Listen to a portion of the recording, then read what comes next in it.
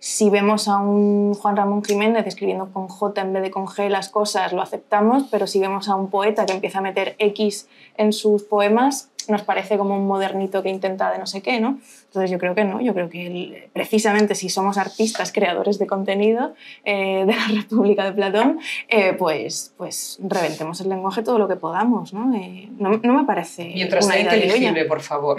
Sí, no, pero ¿cuántas cosas que están súper bien escritas son ininteligibles? Si lo quieres utilizar, ese lenguaje inclusivo, precisamente para eh, tener en cuenta personas que no se sienten incluidas en el lenguaje que, que, usamos a menudo, o lo quieres utilizar para quedar bien en redes sociales, ya la cosa cambia.